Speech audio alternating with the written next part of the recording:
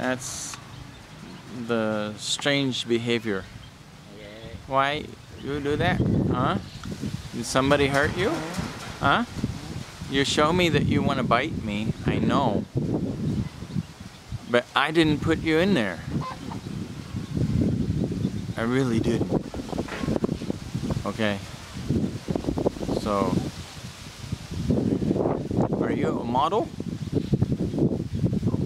At least you still have your teeth. That's good. Yeah. Sometimes they take the teeth out of the monkey and then they have no defense. But I'm glad you let him have them. Let him keep his teeth. Um,